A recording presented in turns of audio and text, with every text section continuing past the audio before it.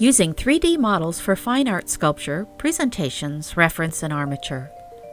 Today we'll be using Poser, Photoshop, DAZ 3D models, and digital milling. The first time I was introduced to the possibility of using 3D models with my sculpture presentations was with a sculpture of a young girl named Ellie.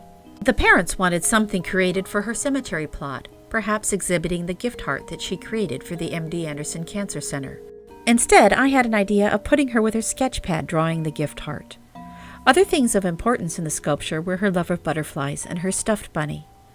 By using Poser and Photoshop, I worked with a friend to create this for my presentation.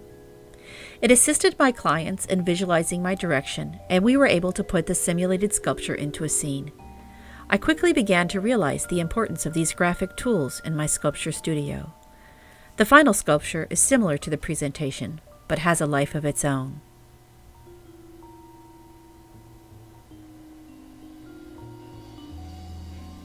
In the second project, a life-size sculpture of Lucas, I used Poser to create a 3D model. I had wanted to create him as a little boy, towel tied as a cape that would flutter behind him as he ran playing Batman. Now, you have never seen a challenge until you have tried to get a five year old model to run and pose. It was impossible to get the reference that I needed. So instead, we once again utilized Poser, posing one of the 3D children in a running position.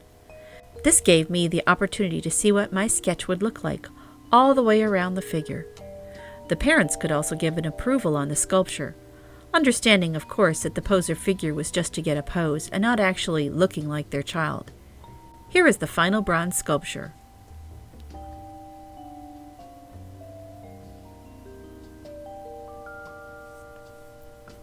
Now it was time to try Poser on my own, and this time we'll take the Poser 3D model right to armature. Baby Jenna was to be created for a cemetery plot. Her parents were unsure of the pose. I downloaded Millennium Baby from DAZ 3D. Using previously modeled 3D figures offers me the opportunity of posing them without having to create an entire 3D model from scratch. Though sometimes with these projects the difficulty is finding the correct proportion child. I also downloaded Moon Baby clothes and cherub wings. These other elements that aid in preparing the presentation are a small investment, but will be in my digital library to use on future projects. You can also purchase poses to further aid you in your direction. Once again, using these poses to pose your 3D image is much easier than beginning from scratch to move a 3D model from what is known as neutral position. It was so much fun to pose the baby in these different poses, and I found that it actually stimulated my creative process. Once again, the applications of Poser, along with purchase models, helped me to create several ideas for sculpture.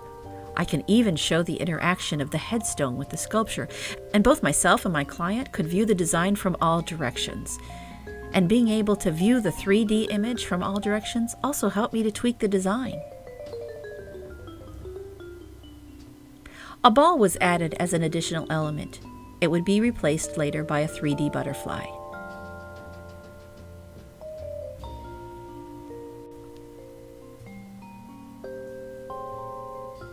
In the final pose, the ball is changed to the butterfly, and I position the baby's left hand in the sign language symbol of I love you.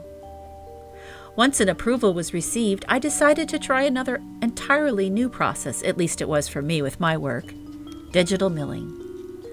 I contacted the creative people of Blue Genie in Austin, Texas, and prepared to send them my poser file. Blue Genie is one of several companies in the United States that mills 3D images from foam, and the image can be enlarged and milled to any size. The 3D image that is milled must be watertight. This simply means that the mesh that creates the 3D model of the baby is solid and has no holes. We fix these holes by using a digital program called 3ds Max. But Blue Genie could have fixed the files as well. Blue Genie then divides the 3D images up within their computer into several parts for milling. I just wanted a foam armature of the body. I planned on sculpting the dress. There were some errors in the 3D model, however, because I planned on adding quite a bit of clay to this foam armature, the errors were not important.